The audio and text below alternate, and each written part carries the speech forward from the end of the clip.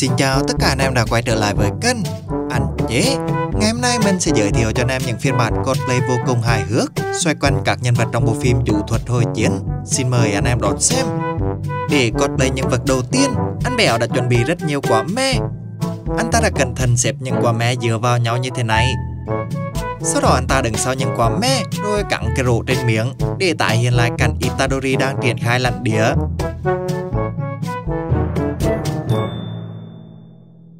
Và đương nhiên sau khi cosplay, anh Bẻo liền thưởng thức hương vị chua chua ngọt ngọt của những quả me.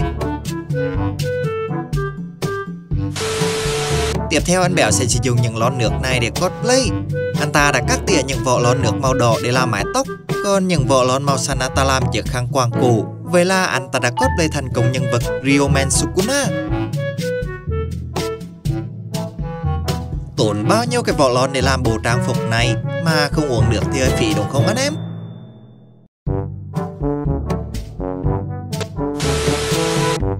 phiên bản Sukuna ngầu lòi ở ngoài đời thực.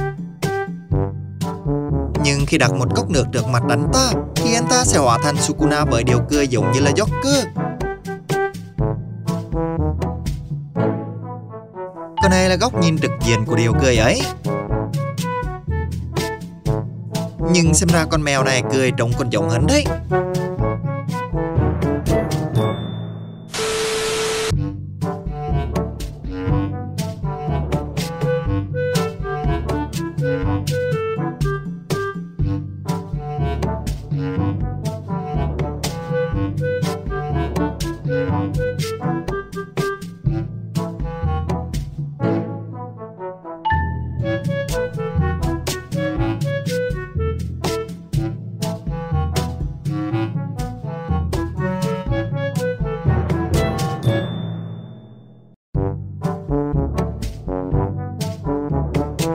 Trước khi ăn những chiếc bánh bao này, anh Béo liền nảy ra ý tưởng để cosplay.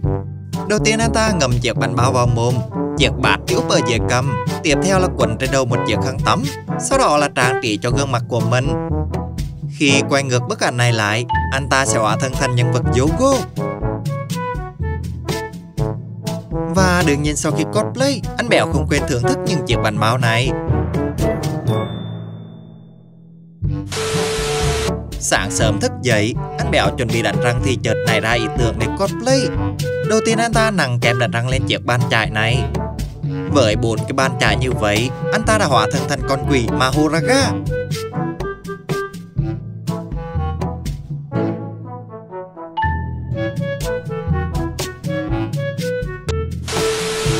Sau đây anh Béo sẽ sử dụng khả năng nặng đất sét của mình để cosplay. Đầu tiên anh ta nặng những bàn tay nhỏ nhỏ xinh xinh như vậy sau đó anh ta đặt chúng vào trong miệng của mình để tái hiện lại cảnh Mahito triển khai lãnh địa nhà ngục đại thừa.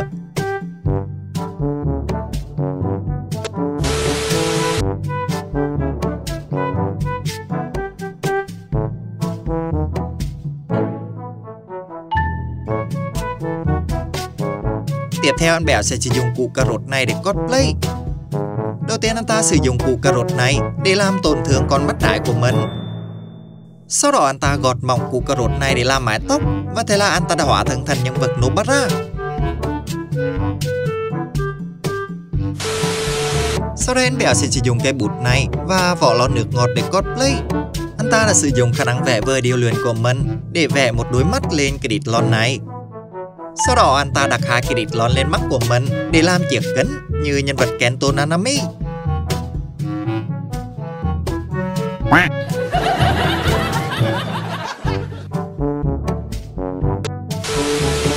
Tiếp theo anh bé sử dụng một chiếc máy có nhãn hiệu là Brother. Sau đó anh ta cởi chiếc áo của mình ra rồi đặt lên trên chiếc máy. Cuối cùng anh ta đặt mái tóc màu hồng lên trên chiếc áo rồi đứng cạnh chiếc máy để tái hiện nhân vật Itadori và Todo. Mỗi tội nhân vật Todo này mang bụng bầu chứ không có sáu mũi như bức ảnh ở hình bên. Trời ơi, đến cái chiếc máy mà anh bèo cũng muốn ăn luôn kìa. Bỏ tay ông này thật đấy.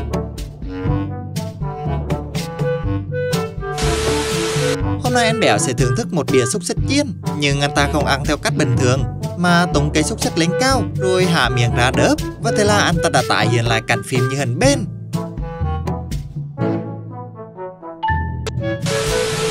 Còn đây là khi anh béo cosplay nhân vật Megumi khi triệu hồi thức thân bạch khuyển và hắc khuyển. Nhưng thay vì gọi chó, anh ta là gọi là hai con mèo.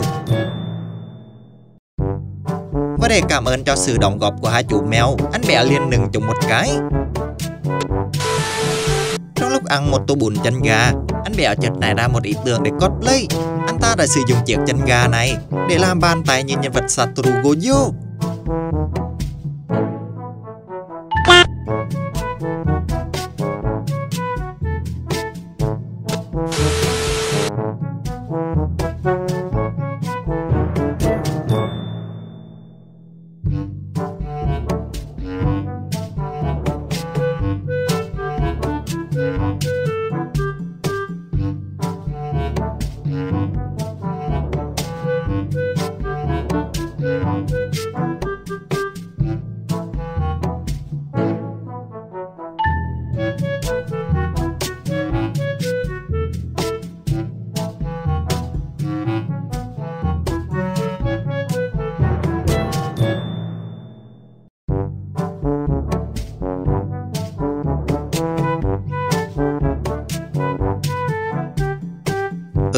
cosplay tiếp theo, anh béo đã đổ những hạt đậu xanh vào chiếc khay này. Sau đó anh ta tưới nước, rồi đợi vài ngày cho những hạt đậu trở thành những cây giá. Và thế là anh ta đã có mái tóc như nhân vật Gozo Còn đây là khi anh béo cosplay nhân vật Gozo bằng một cái bàn chải đánh răng.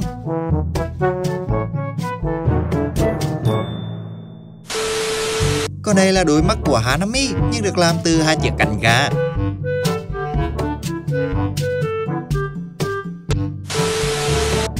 Còn đây là khi anh béo cosplay nhân vật Toji với chiếc gối ôm của mình.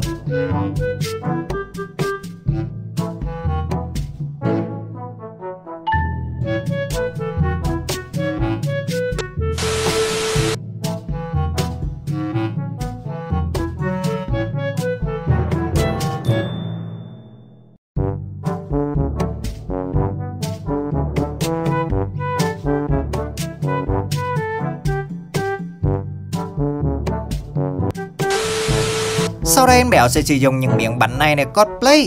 Anh ta gắn những miếng bánh đấy lên cái đầu của mình để làm tóc.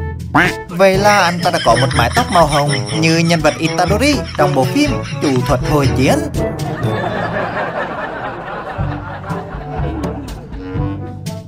Cosplay xong, anh Béo liền thưởng thức ngay những miếng bánh vô cùng ngọt ngào này.